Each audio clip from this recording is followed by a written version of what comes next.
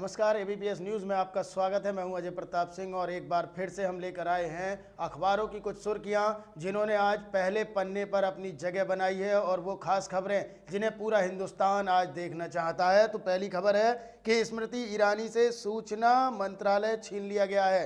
पीयूष गोयल को अब वित्त मंत्रालय भी देखना पड़ेगा।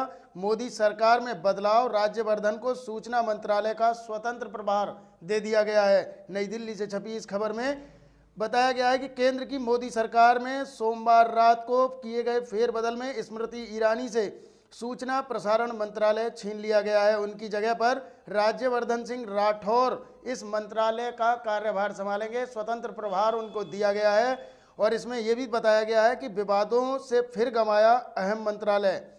खबर में है कि विवादों में रही स्मृति ईरानी का कद फिर से घट गया है। ये दूसरा मौका है जब उनसे एक मंत्रालय छीना गया है।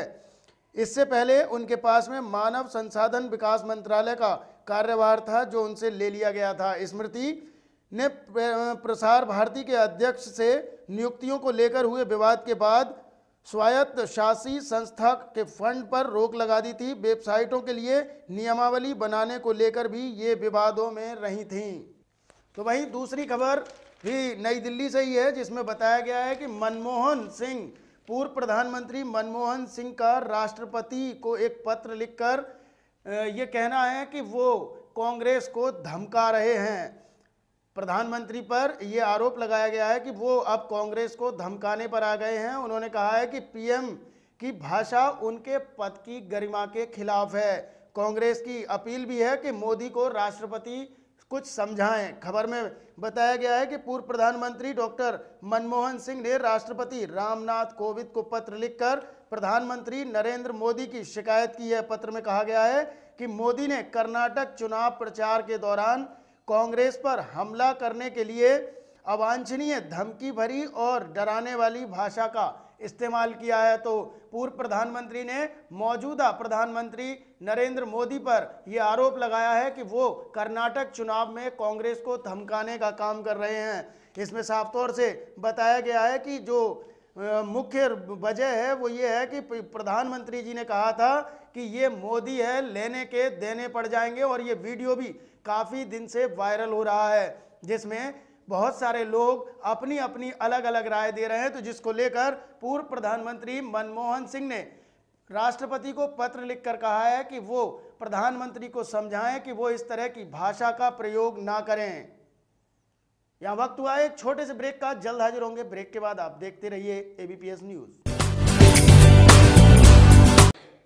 एबीपीएस न्यूज़ में एक बार फिर से आपका स्वागत है और अब खबर चिकित्सा विभाग से है। चिकित्सा अधिकारी के एक हज़ार पदों पर भर्ती होने की बात भी अमर उजाला में प्रकाशित की गई है। इलाहाबाद से छपी इस खबर में बताया गया है कि उत्तर प्रदेश लोक सेवा आयोग यूपीपीएससी होम्योपैथिक व आयुर्वेदिक चिकित्सा अधिकारी के करीब एक हज़ार पदों पर सीधी भर्ती शुरू होने जा रही है। इसके अलावा तकरीबन 100 अन्य पदों पर भी सीधी भर्ती होगी। इसके लिए 18 मई से ऑनलाइन आवेदन की प्रक्रिया भी शुरू हो जाएगी। आयोग ने मंगलवार को सीधी भर्ती के लिए विज्ञापन भी जारी कर दिया है। तो ये एक बड़ी खबर है कि अब एक हज़ार चिकित्सा अधिकारियों की भर्ती होगी होम्योपैथिक और आयुर्वेदिक के लिए। तो ये जो विज्ञान से पढ़े हुए छात्र छात्राएँ हैं, उनके लिए अच्छी खबर है। कि अब एक हज़ार पदों पर भर्ती होगी, जिसमें काफ़ी सारे बच्चों को रोज़गार भी मिल जाएगा और इसकी ऑनलाइन प्रक्रिया भी शुरू हो गई है, जिसमें आवेदन मांगे जा रहे हैं।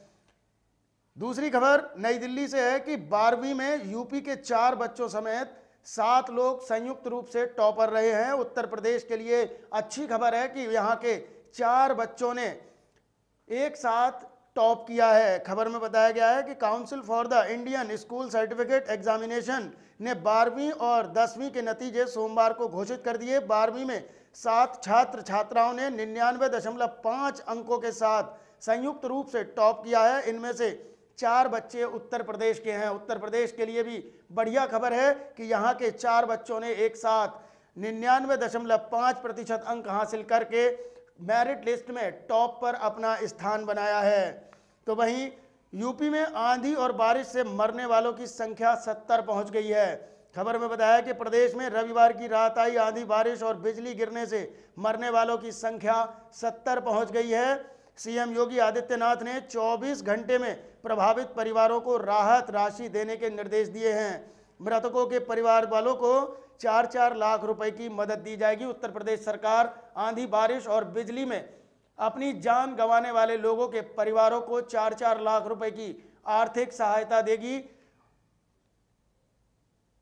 एक और बड़ी खबर है जो नानक मता, खटीमा और उधम सिंह नगर से एक साथ प्रकाशित हुई है, जिसमें बताया गया है कि ट्रक वैन की भिड़ंत में पाँच लोगों की मौत हो गई है। सभी मृतक रामपुर के रहने वाले हैं और माँ पूर्णागिरी के दर्शन करके लौट रहे थे। खबर में बताया गया है कि नानक मता बाईपास पर सोमवार को मारुति वैन और डंपर में आमने सामने से भिड़ंत हो गई, जिसमें एक ही परिवार के पाँच लोगों की मौत हो गई, जिससे पूरे परिवार में शोक का माहौल है। मृतकों में तीन महिलाएँ और एक बच्ची भी शामिल है। छह घायलों को खटीमा के नागरिक अस्पताल लाया गया। वैन चालक की झपकी आने के चलते ये हादसा होने की बात कही जा रही है। रामपुर निवासी 11 लोग, Omni van, UP 22 A A सत्रह पचास से माँ पूर्णागिरी के दर्शन करने के लिए जा रहे थे कि रास्ते में ड्राइवर की झपकी लग गई, जिसकी वजह से मारुति कार डंपर में जा टकराई, जिसमें इन पाँच लोगों की मौत हुई है। तो वही एक और खबर जो खास दिखाई दे रही है कि मौत का सौदागर कहने वाले हमें ना दें नसीहत। भारतीय जनता पार्टी की तरफ़ से ये बयान आया है, जिसमें कहा गया है कि जो मौत के सौदागर हैं, वो हम लोगों को नसीहत ना दें।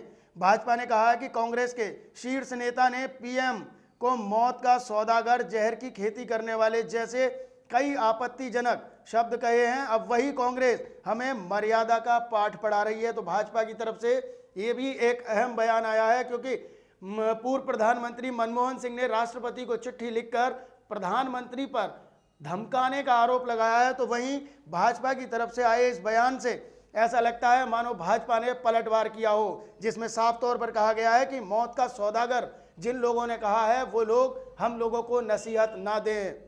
तो फ़िलहाल के लिए इतना ही, इसी के साथ अजय प्रताप सिंह को दीजिए इजाज़त, नमस्कार।